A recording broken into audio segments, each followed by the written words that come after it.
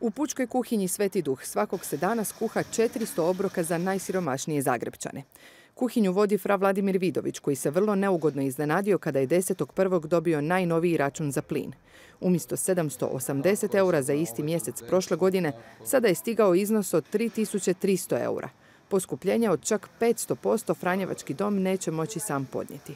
Bio sam zaista u šoku ovoga, jer račun je apsurdno visok bio i ja sam u prvi mak pomislio da se radi o nekakvoj grešci, odnosno da je došlo do nekakvog kvara, kako ili na plinomjeru ili negdje da pline da Bože curi ili ne znam da je nešto u tom smislu e, se dogodilo. Onda sam e, pažljivije pogledao račun.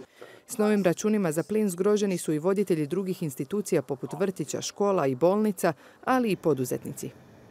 Ne mogu reći da smo iznenađeni, ali plin nam je poskupio 300% i uz ostale namirnice koje su nam još poskupile i po 100% i još se nazire dalje poskupljenje.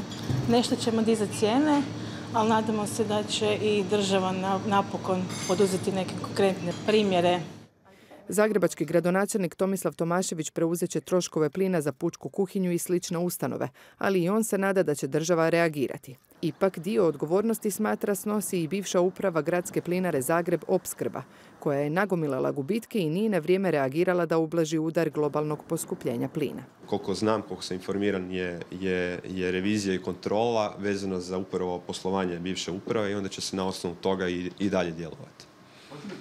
Ali u svakom slučaju mislim da je to svima očito da je to bilo nesavjesno poslovanje u najmanju ruku. Građani na svojim računima za sad nisu osjetili poremećaj na tržištu plina, ali i to će se promijeniti od prvog četvrtog, kada opskrbljivačima raste regulirana cijena plina za 133%. Mi činimo sve da povećanje, prosječno povećanje u Hrvatskoj nakon što do njega dođe, a doći će nažalost, bude prosječno manji nego na razini zemalja članica Europske unije, prosjeka Europske unije. Je li 50%? Je li iznad 50%? Gledat ćemo da bude manje. Voucheri za najsiromašnije, smanjenje PDV-a na plin, sve su to mjere o kojima se u vladi tek pregovara. Stručnjak za energetiku Davor Štern kaže da su uzroci poskupljenja plina nepredvidivi i da se s njima teško može upravljati. Jedan od uzroka je sukob Amerike i Rusije koji ide preko leđa Europske unije. S druge strane, sukob u samoj, samom sustavu plina između prirodnog plina i LNG-a.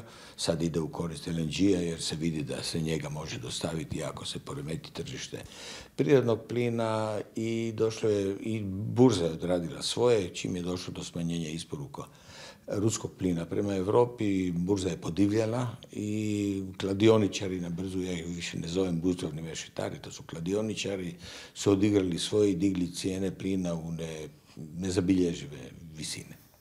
Slično se, kaže Štern, sada događa i s električnom energijom.